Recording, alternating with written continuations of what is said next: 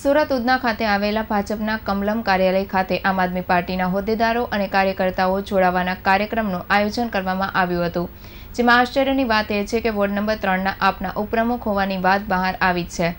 શૈલેષ ગજ્જર ભાજપમાં જોડાયા હતા, જે પોતે આમ આદમી પાર્ટીના વોર્ડ નંબર ત્રણના ઉપપ્રમુખ હોવાનો દાવો કર્યો હતો.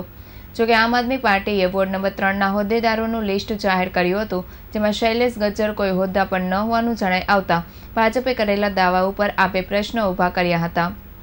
શૈલેષ ગજરાએ મંચ ઉપર પોતે આમ આદમી પાર્ટીના ઉપપ્રમુખ હોવાનું જણાવ્યું હતું.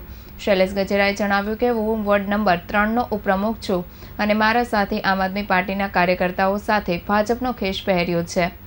કમલમ કાર્યાલય ખાતે જ ત્રણસોથી ચારસો કાર્યકર્તા ભાજપમાં જોડાયા હોવાનો દાવો ભાજપ તરફથી કરવામાં આવ્યો હતો.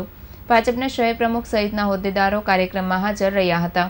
સુરત શહેર પ્રમુખ નિરંજન ઝાંઝમેરાએ જણાવ્યું હતું કે, આમ આદમી પાર્ટીના કાર્યકર્તાઓ પણ ભાજપમાં જોડાઈ રહ્યા છે, જેમાં તેમણે વોર્ડ નંબર ત્રણના આમ આદમી પાર્ટીના ઉપપ્રમુખ શૈલેષ ગજેરા ભાજપમાં જોડાયા હોવાની વાત કરી હતી.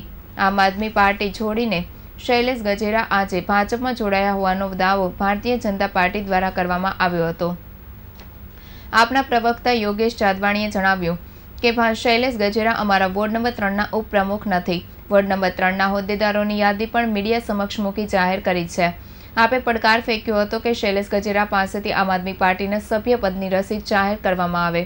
ભાજપ ખોટી રીતે આપના વોર્ડ નંબર ત્રણના ઉપપ્રમુખ તરીકે જાહેર કરી, મીડિયામાં ખોટો પ્રચાર કરી રહ્યા હોવાનો આક્ષેપ કર્યો હતો.